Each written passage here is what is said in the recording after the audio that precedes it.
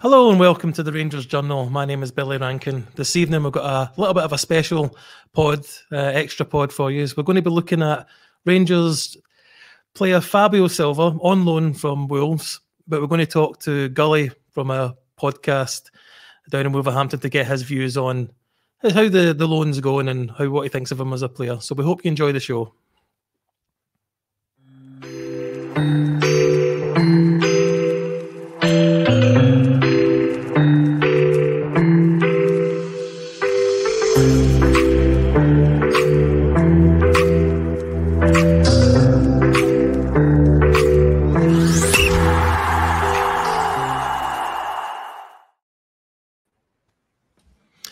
Firstly, let me invite or introduce in the show Gully. How are you doing, mate?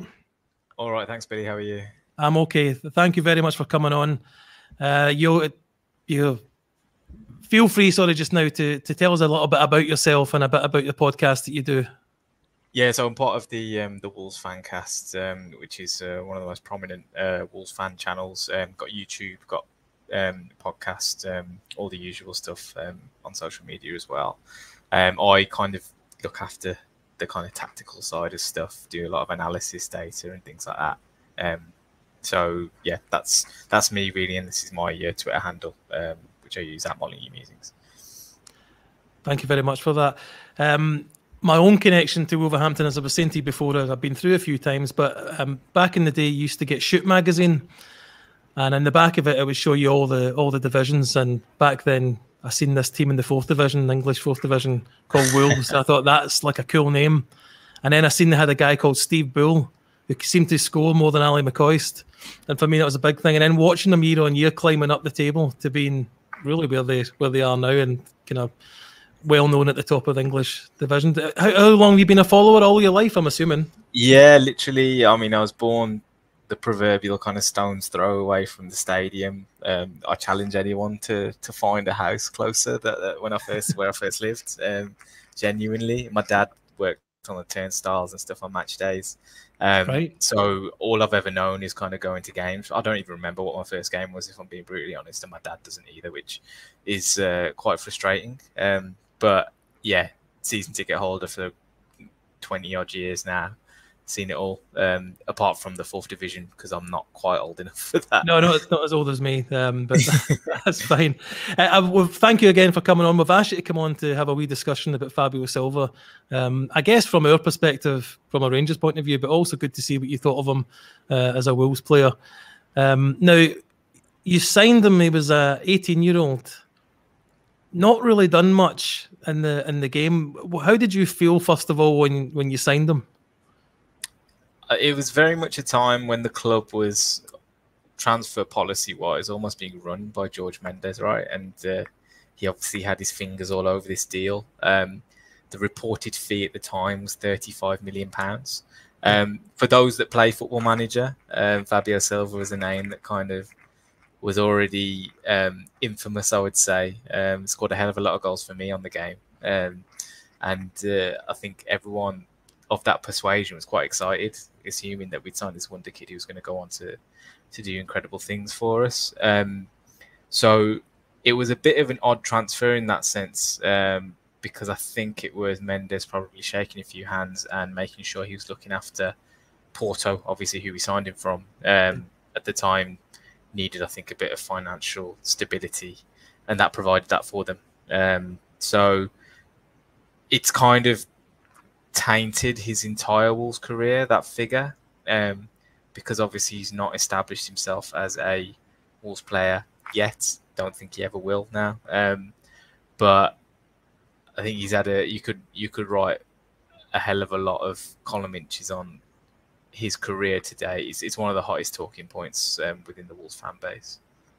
Uh, I noticed in one of the reports it mentioned him being all through these age groups. He was stand out as a as a number nine um, throughout his kind of youth career. Um, but it did it did strike me as rather odd that he went for you know a club record fee, I believe at the time. I don't know if it still is your record fee.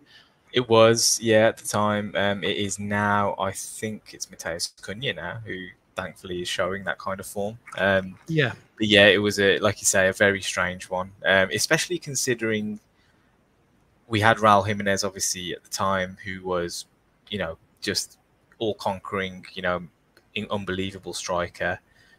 So we, we it was highly unlikely that a 35 million pound player was ever going to get into the team. Um, right. But he also was obviously 18 years old, so why would you expect him to just walk into the team, right? It wasn't ever uh, a, a signing with that in mind, I don't think. Um, but he was there to be an understudy, learn the trade, and um, get minutes where possible. That didn't that didn't happen. Um, obviously, inf- um, infamous now the the Raul Jimenez head injury, which kind of derailed us as a club to a certain extent, um, which really threw Fabio into the deep end, and he ended up having to play a lot more before he was ready to. Um, I mean, when he first joined as an 18 year old, uh, a stronger of wind would have probably blown him over. He was just not physically in the right shape to, to lead the line for a Premier League team. Um, I, realise you you wouldn't be probably following our pod particularly closely, but I did mention a, a couple of weeks ago he, he, scored for us at Ibrox and the, he runs behind the goal and the camera pans on him, and the, his frame's actually really big now. He's put on a, a, a bit of muscle. Um, but back then, I see the pictures of him. He, yeah, you're right. He looked like he could have been blown over. It, that was my first question, actually. Were, were, you were you happy about the price tag? I guess you're telling me you weren't happy about the price tag. I mean, as things have transpired, you know, that was the kind of deal that really put us in the in the mire financially. You know, we've been quite close this season to falling foul of the financial fair play rulings, um, potentially getting a uh, a points deduction, but we obviously sold a lot of players in the summer to alleviate that kind of thing. Thirty-five million pounds to us is not the kind of money we can just throw out, throw about. Um, so when you kind of trace back, you know, all the spending that we've done that that didn't go to plan, everyone has to be able to point the finger at this at this guy, and I, I just feel sorry for him because of that. Because I, I think his career has been dictated to him a little bit as opposed to him carving out his own path um, which is a real shame. It's interesting you say 35 million being uh, a big thing for you. We we can't even dream of getting anywhere near uh, 35 million with the, the investment in the Scottish League, unfortunately. Have you seen any of his games at Rangers so far or watched any of the highlights? I Like I said, I've kind of traced his career. I mean, first first things first, I, I always thought he had ability and I've always thought he had talent. Um, kind of guy who can sniff out opportunities out of not much. Um, but he obviously never managed to establish himself at Wolves. He had a couple of loans. I even went to PSV last year to watch him out on loan. Um, my brother and I, it was quite easy to get tickets, so we thought, why not just pop out there for a little, little, little trip out to Eindhoven. Um, he came off the bench there in a game um, what, that we were out watching. So I've always paid attention to anything he's done away from the club um, on loan. I've seen that he started quite well. One thing I have noticed is that he started on the left side of the, the front three, I think, recently. Um, he's a very good player, I think, when he's facing goal. With his back to goal, he's still got a lot of work to do in terms of developing his game. Um, and I think you saw that with the way he took his goal against Hibs the other the other night, wasn't it? Um, and he had a good game by all accounts against Benfica, from what I understand. He did, yeah, um, he did. Yeah, and that was from the left hand side. I think he's shown when he when he gets the ball in space and he's able to make things happen. Um, but I just think he's got a little bit of experience to gain in terms of fighting defenders and you know working his way out in a crowded penalty area and, and, and having to deal with two centre halves who are going to kick the shit out of him, frankly. Hmm. um, you know, so yeah, but I, I've I'm pleased he's he's managed to get game time and, and get a run. We um we did have a concern because we had a bit of a no, still kind of do have a bit of a striker problem with Kemar Roofe being permanently injured by the by the sound of it, it seems. Uh, Danilo that we signed in the summer was out with a, a long term injury, and we were really looking for a striker to be brought in because we only had Cyriel Dessers. We were kind of told that he was an out and out striker, but even in his first interview with us, he, he seemed to say that he's not a kind of stereotypical striker. Would you say number nine? Is that what he played for you? Is that what you've seen him play on loan? Would you prefer him in the number nine role, or I think ulti- I think ultimately he will be. Um, I I think it's difficult when you get young players coming through, especially forwards. The the ones that are really successful from an early age, I think, have to be quick. Um, or have a, some other kind of physical attributes that means they can kind of handle themselves in, in the adult game. Um, he's ne- he's not the quickest, although he has developed that, and he's not the strongest. So he always looks a little bit like he can't handle that position. But I think by the time he's kind of 23, 24 years old, hopefully he'll have filled out physically, um, and he will look a bit better as a striker. I think I think of someone like Dominic Solanke, who's kind of blossomed a little bit later in his career, always had that big frame, not quite sure of how to use his body and things like that. I think Fabio's got that about him where he will develop that slightly later on. Um, for now, I think it's probably the right thing to do. Maybe back off this season um, to use him from a wider position because he can still score goals from there, right? He's still got that ability to to finish chances and, and, and run at players and, and make things happen. But you just don't want him fighting off centre halves for most of the game. I think you, you lose him as a player if, you, if he's doing that at the moment. I was having a look through these two loan moves to Anderlecht and PSV. Um, did you get a chance to watch him? Was he was he played as an out and out striker there? Do you know? PSV tended to play slightly wider. They had Luuk de Jong up front there, who's kind yeah. of just you know regular goal scorer. Anderlecht, he was the main man, um, but in a team that I mean, based on their history, just were underperforming massively. He, he, had his moments. If you look at the amount of minutes he's played in his career and the, his goal record, it stands up pretty well. Yeah. Um, in terms of if as long as he's playing, he will produce. Um, but you know, at Wolves before his loan moves, he was getting minutes off the bench and stuff. And I think what really killed him from a Wolves perspective was after the season where he played too much. He then played too little in the second season when Raul Jimenez came back from his head injury. So then he went out on loan, and, and to be fair to him, he's done all right. You know, he, he won a trophy at PSV last year as well. Yeah, came back in, started in the team um, the start of this season, had a chance, just missed a few chances. I think if you know, I've, there are a lot of sliding doors moments with his career, which I think um, have dictated what's ended up happening with him, and he's ended up being a bit of a scapegoat again because of the fee, um, which is is unfair on him, I think. But yeah, had he been? Is it when he went out on loan? Was that a surprise to you? Had you been expecting him to go out on loan anyway? I think, given the way the second season went for him, where he just didn't play enough, if he wasn't, if that was going to be the case again, then it was it was absolutely the sensible thing to do. Um, we ended up having another injury crisis because we had uh, Sasha Kalajdzic come back in, getting an ACL on his um, on his debut. We had to sign Diego Costa, so in hindsight, he probably would have played a lot more if he didn't go out on loan to Anderlecht. But um, for him and his development and his game and us retaining a sense of value in his transfer fee, if we were to sell him as well, I think the club have had to think along those lines now. Um, was the sorry? Do you know was it in this particular transfer window to when he came to Rangers? Do you know if the, there was other interest from other clubs? I feel like every summer there's been a lot of interest. I think there were a few clubs from Turkey that were looking at him, uh, a couple from Germany as well. There's always been interest in him whenever he's there's a likelihood of him being available. So I think teams clearly rate him, right? Um, I actually think, from what I remember, Celtic were in for him as well. Um, right. Uh, so it would have been interesting. We'll write a song about that for the stands. Yeah, yeah.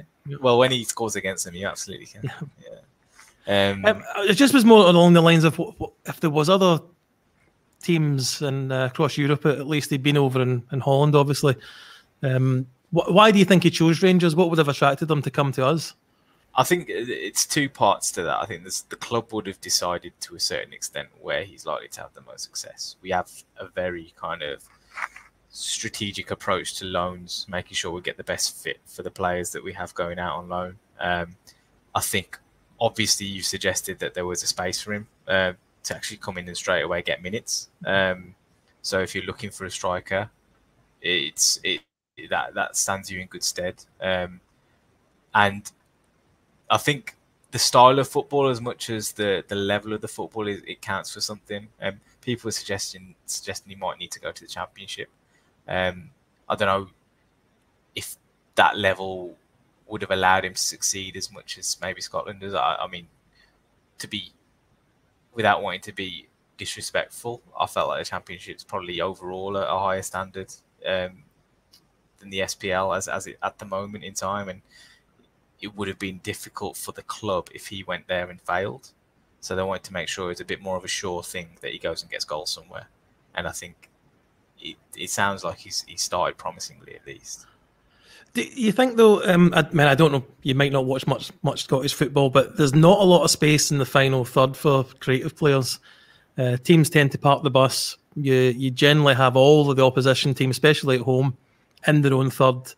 There's not a lot of space. Is, is he this type of player that's going to benefit or be able, not benefit, but be able to flourish with such tight spaces and big think, defenders?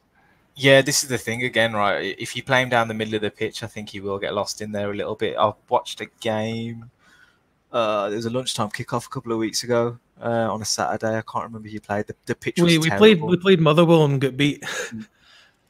uh, it was before that. It was before, before that. that okay. you, you, won the game one 0 um, It was an absolute terrible pitch. He played down the middle as a number nine. He had a decent chance to score. I think Dessers might have come on and scored after. Um, but um, yeah, I, I, just thought he couldn't get into the game, like you say, because it was tight, because um, you know the teams are sitting deep and things like that. But from a wider position, I think he's more more able to receive the ball in a bit more space, and I think he's able to have a bit more success, like in the scenario where he scored the goal against Hibs. Um, perfect yeah. example of that. Perfect.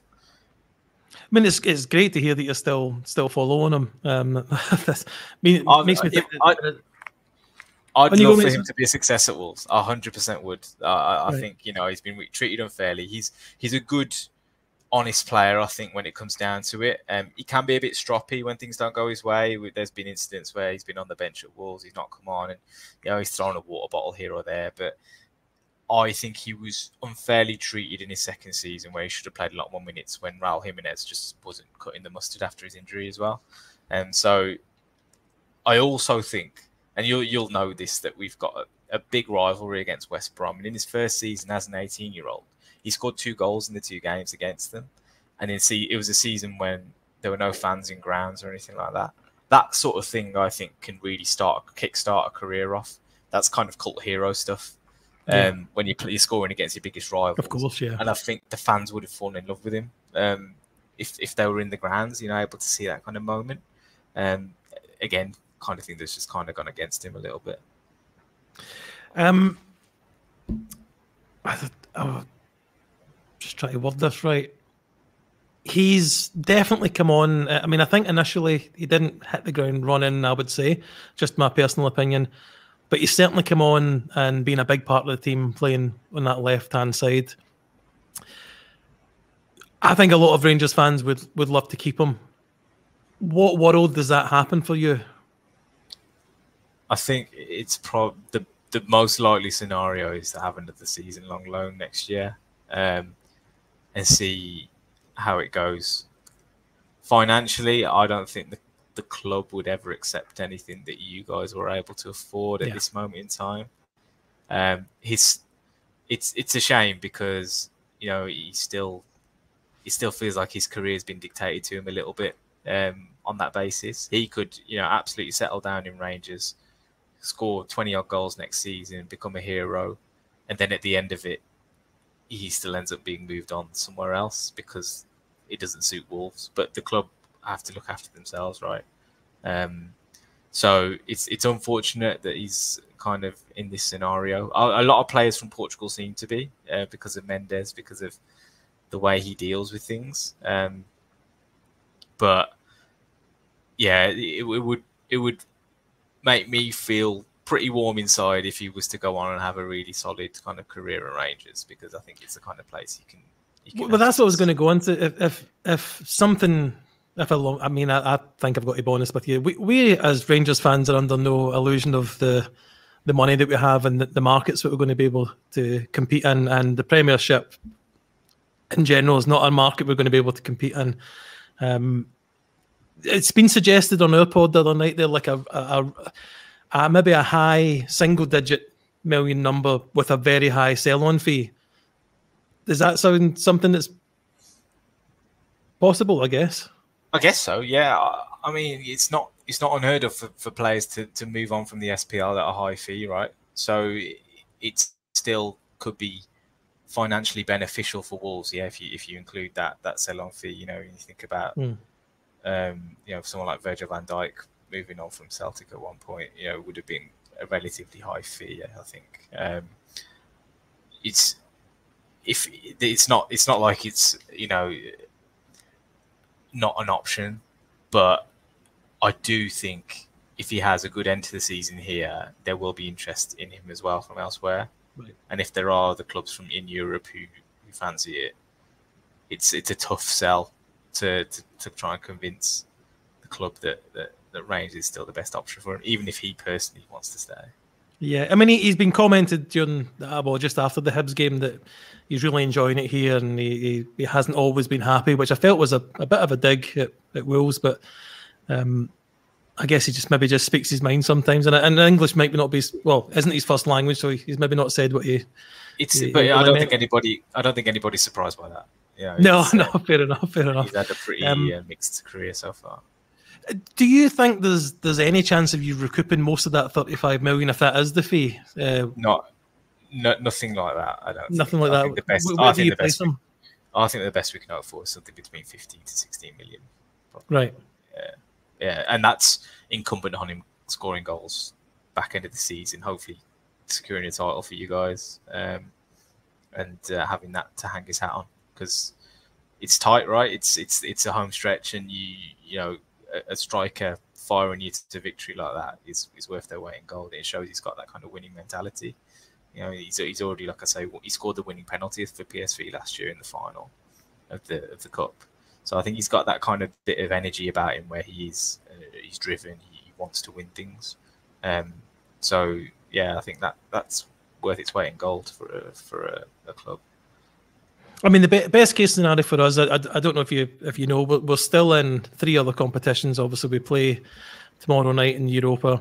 Um, yeah. We're in and at the top of the league at the moment. It, it will be it will probably be tight, uh, and we're still uh, we're in the semi final of the Scottish Cup. If he, let's just say, best case scenario, we win all four competitions this season because we've already won the League Cup how does that affect his transfer value, do you think, or does it not really translate over to the English market? I think that's definitely something that you could say would boost it. Yeah, absolutely. Yeah, absolutely. Especially if, as long as he plays the minutes right, you know, and you have that success, absolutely. I mean, even something like if he turns up tomorrow night, uh, you know, home leg, against a team that's dropped out of the Champions League and, and, and, wins that game for you. That's the kind of thing that I think people up, sit up and take notice of. Um, so yeah, absolutely. I, I, I, don't think there's a there's any kind of attitudes about well, it's just kind of Scotland. Uh, I think you know everyone knows that there's still competition between the two Glasgow clubs that that mean you have to show up. You have to you know really fight for something. You know nobody's walking the league like Bayern have in Germany for the, the past kind of 10 years. It's it's not that kind of situation anymore.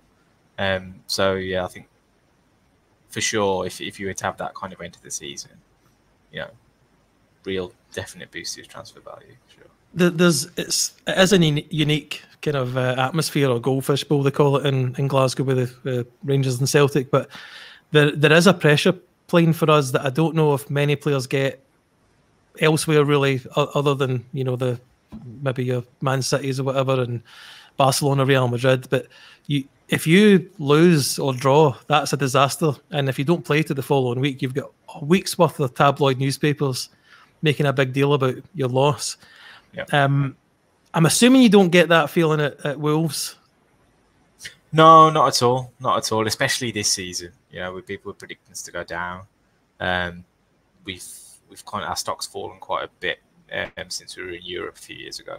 So yeah, don't, you don't get that kind of pressure. I think the pressure that Fabio would have felt would have come from the price tag that he was initially signed for, which again was is a false economy. It's it's George Mendes money, which you almost can't, you have to discount to a certain degree. Um, so that's probably what's tainted his career and and and the perception of him up to this point. I actually think he's the kind of guy. If you threw him into a battle, he, would thrive under that kind of right. pressure. I think he's the one who wants to be the main man, and and you know has that kind of personality where he wants to to show himself in those kind of scenarios. So if you stuck him in, in the middle of middle of an old firm game, I think he's the kind of guy you want in your team.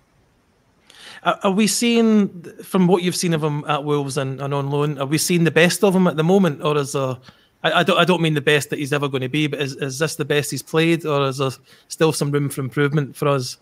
I think, yeah, yeah the, the glimpses are like that goal against Hibs was kind of pure, kind of Fabio in a nutshell. Really, um, gets the ball, finishes it really smartly, but gets his shot off quickly. His, his ability to get shots off is really uncanny. Um, so I mean that's what you can look forward to um, as he gets match fitness. There, he he barely played a minute for us between kind of October and January when he signed for you guys.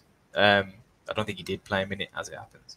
So he obviously has still probably some way to go in terms of match fitness and sharpness. Um, so yeah, there's definitely levels to go yet. Um, you'll notice when he's fully fit, he looks a lot quicker than right. he probably did at the start of his uh, Rangers uh, move. So I think that's the noticeable thing for me when I've seen him. Um, the, so the, ga- the game against Benfica last last week, he he seemed to be trying to prove a point, or I don't know if that's the right word for it. But he, even when when the two goals went in, he didn't score them, but he celebrated. He was the one at the front celebrating like he was the goal scorer. So he looked like yeah. he was trying to make a point over there. Um, that's been I mean, just impressed with his attitude and his work in that in that in that game in particular. Look, Gully, thank you so much for coming on. Um, thanks for giving me your time. Please, once again, tell us what you do. Tell us where we can find um, your podcast. Yeah, so it's at Molineux Musings on Twitter. Um, at Wolves Fancast uh, is the main channel on YouTube, Twitter, Instagram, everything. So uh, yeah, give us a follow and um, good luck to you guys and Fabio Silva. Well, same to yourself uh, with your team this year. I hope you don't go down. As I say, I've got that that kind of mental connection from from Shoot Magazine back in the eighties. yeah. uh, thank you everybody for listening. Thank you to uh, uh, people subscribing. Please, if you do like this, there's more to come. There's more interviews with other podders on uh, our other transfer um, loans this season. Uh, so thank you very much for watching. We'll see you again soon.